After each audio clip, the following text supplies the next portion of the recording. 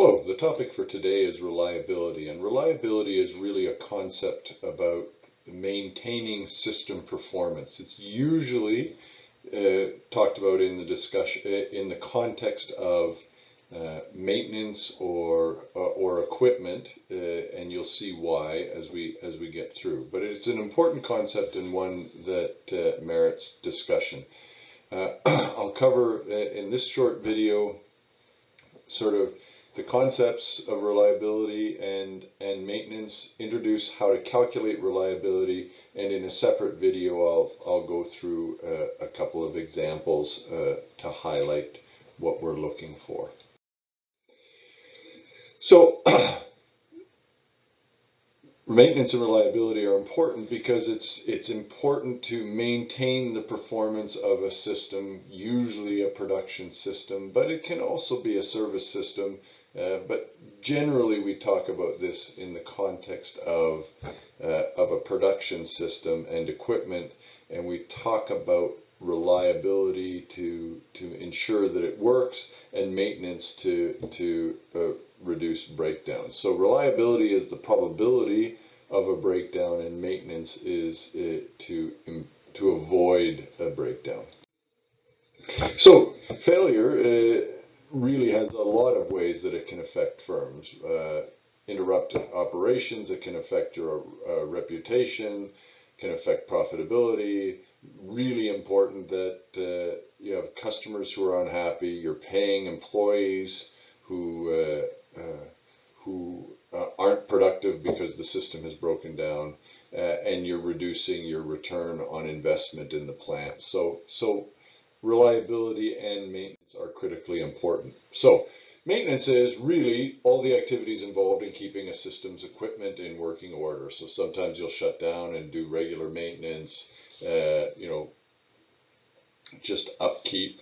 Uh, but it can also be training and other things to make sure that people are using equipment correctly and to keep it running. So maintenance is about keeping things going and reliability, as I said earlier, probability that a machine will function properly for a specified amount of time. So reliability is the probability that you're going to have a failure and maintenance is the, the activities involved in reducing the risk of that failure.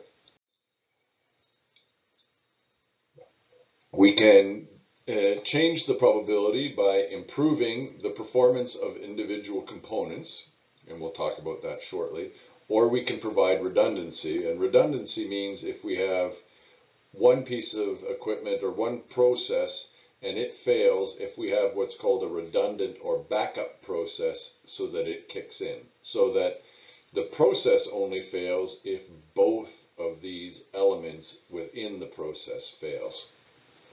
And maintenance is implementing or improving preventive maintenance and increasing repair capability so that if you do break down, uh, you recover more quickly. So I'm not going to talk any more about maintenance. I think maintenance is relatively straightforward, uh, and this isn't a an actual production class where we would talk about elements of maintenance. It's important just to understand those basics. We are going to talk about reliability because reliability is more of a, of a strategic measure. measure. And, and what happens is the reliability of the system is the product of the individual reliabilities of the components of that system. So what that means is reliability is a probability. It is always a number between 0 and 1. So as you can see, as we multiply numbers between 0 and 1 or probabilities times each other, that becomes a smaller and smaller number. So even if your performance is 90%, 90%, if, if we had two elements and they were each 90%, uh, the reliability of the, of the system would be uh, uh, 0.81, and if we had another one, it would go down. So reliability decreases rapidly with more components in the system. So here's an example. If, if you have 0 0.9, 0.8, and 0.99, all of those individually look pretty good, but because you multiply the probability of that failing times the probability of that failing times the probability of that, no, no, actually I should restate that, not the probability, the probability of that not failing, uh, the probability of that not failing, the probability of that not failing times each other, you get 0.731. So even though these look relatively good, it decreases quickly and, and the probability uh, that that system works throughout is only 0.713. So you can see paying attention to these and building redundancy in becomes critically important. This is where I was using my, uh, uh, uh, where I was, was, was confusing my words. The reliability is, uh, the reliability is the probability that it works. The failure rate is uh, the probability that something fails. So here you've got the number of failures times the number of units tested or the number of units we have times 100%. So you get a failure rate as a percentage and it is the invert or it is 1 minus uh, the, the reliability. Uh, and the failure rate n, which we're not going to spend a lot of time, but is good to know, multiple choice type question, is the number of failures times the number of unit hours of operating time. And so this is a percentage that is just not uh, considered within time units, and this one is in time units. So uh, this would be the number of failures in all of our machines running for 100 hours as an example, rather than just looking at a fixed uh, test rate. And then the mean time between failures is the time that you can expect the system to run without a breakdown uh, is 1 over this FRN, or the, the failure rate of n hours. And so that is another measure. Of course, that is a, an estimate. It can, because these are uncertain, it can happen more quickly or it can happen less quickly, but this is the mean time between failures that we're looking at here. So let's look at this first example. We have 20 air conditioning units designed for use in NASA space shuttles operated for a 1,000 hours. One failed after 200 hours and one after 600 hours.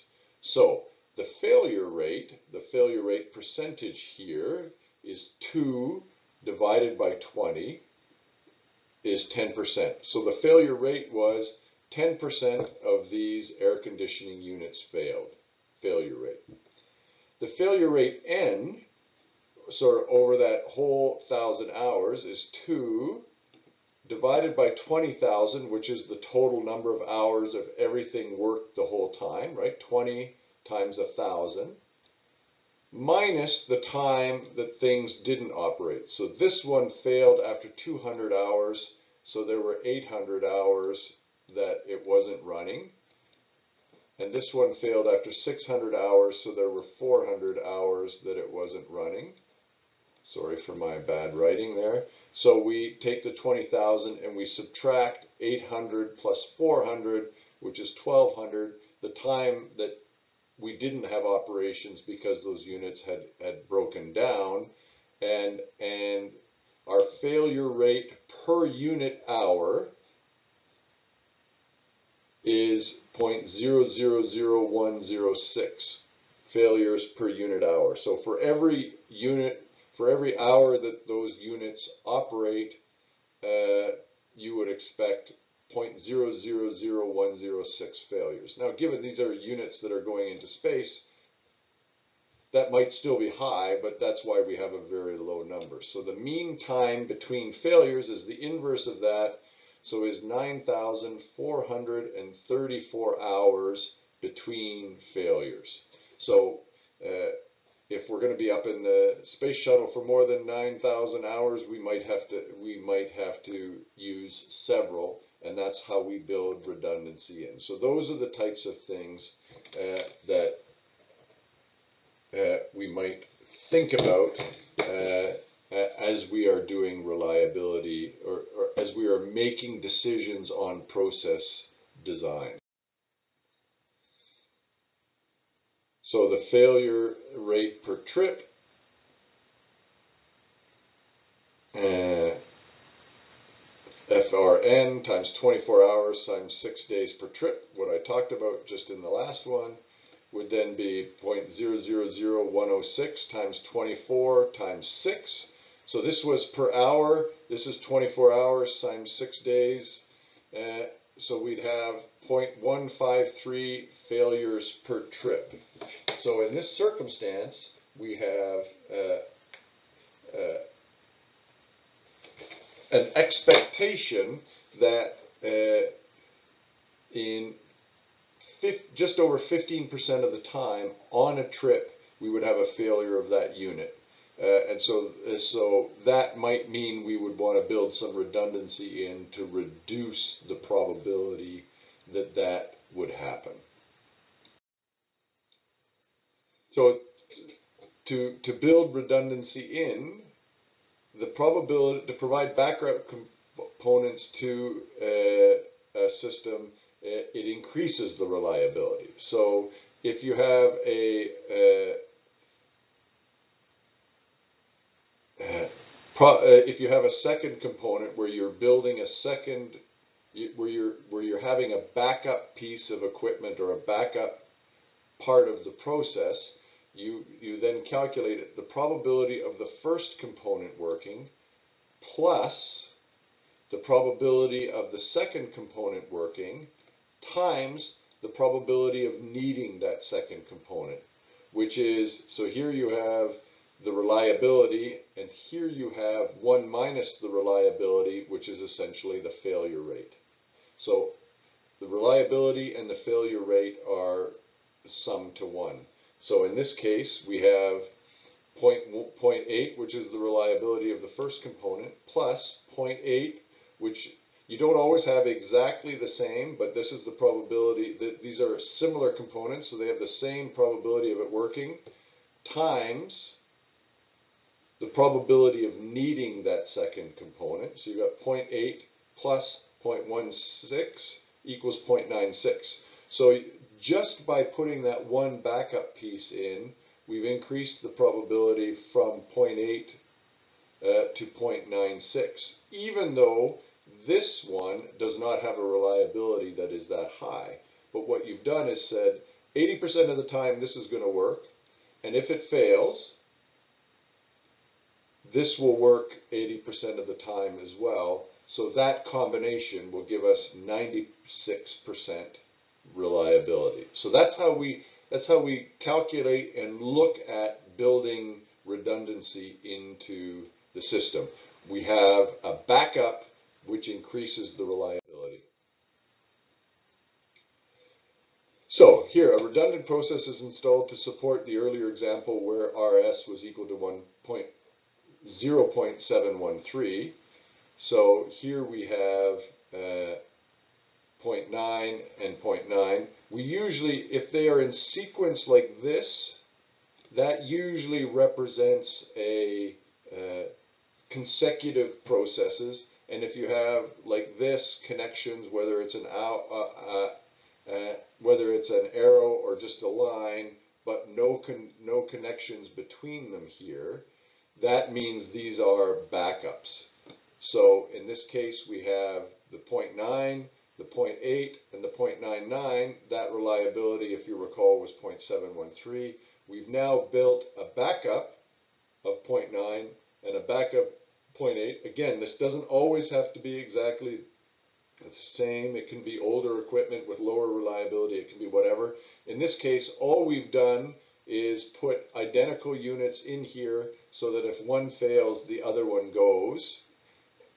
and we can see that it will increase the probability uh, of, uh, or of, of success from 0.713 to 0.94. Again, while this one is at 0.99, these ones are lower, but we've increased their probability to 0.99 and 0.96 by building that redundancy into the system. So redundancy improves reliability.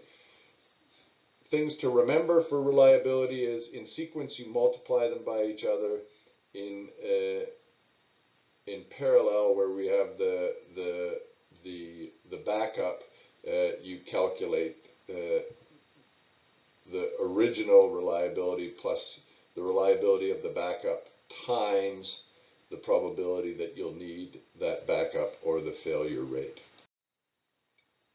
So, maintenance, again, designing machines that are reliable, easy to operate, and easy to maintain. Emphasizing total cost of ownership when purchasing machines so that the service and maintenance are included in the cost. Uh, so if you have a more reliable machine, you require less uh, you require less uh, maintenance so that total cost of ownership is uh, is not only the acquisition cost but the expected service and maintenance costs that are included with that. So sometimes the more expensive to purchase machine will be actually cheaper uh, because you won't require as much maintenance. So that concept is an important one, often shows up on multiple choice exams in my experience. developing preventive maintenance plans that utilize the best practices of operators. Again, doing things right and training uh, staff so that they see the warning signs and, and are proactive in maintaining their equipment so that you avoid failures later. So, to wrap up, quick introduction to maintenance and reliability. Reliability improvements can be made through the use of maintenance can be made through the uh, in uh, uh, through the uh, use of redundancies.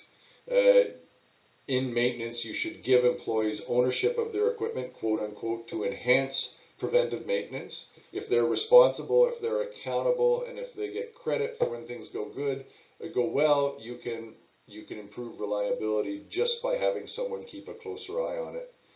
Uh, and reliability of equipment will drive out variability of systems and leads to that customers can rely on products and services to be carried out to specifications and on time. And we calculate reliability in, in series uh, by multiplying them and in parallel we, uh, we look at the individual reliability plus the reliability of the backup times the failure rate. That's a quick introduction uh, in 20 minutes or less to reliability. Really gets you the key things, the key concepts you need to know. I will upload shortly a second video which goes through some examples of calculating reliability, which should give you the, the whole picture that you need for an introduction to reliability in operations management.